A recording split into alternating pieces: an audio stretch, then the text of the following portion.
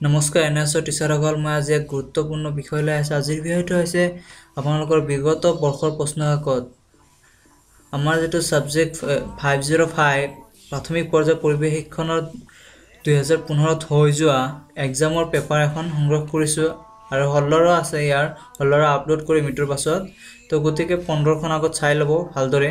আৰু পোন্ধৰ ষোল্ল দুয়োটা পেপাৰ চালে আপোনালোকৰ এক্সামৰ কাৰণে কিবা এটা আভাস হ'ব সেইকাৰণে পেপাৰটো আপলোড কৰা হ'ল আপোনালোকে পেপাৰটো ভালদৰে চাই ল'ব।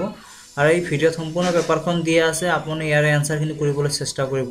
আৰু বহুতো গুৰুত্বপূৰ্ণ কুৱেশ্যন দিয়া আছে ইয়াত।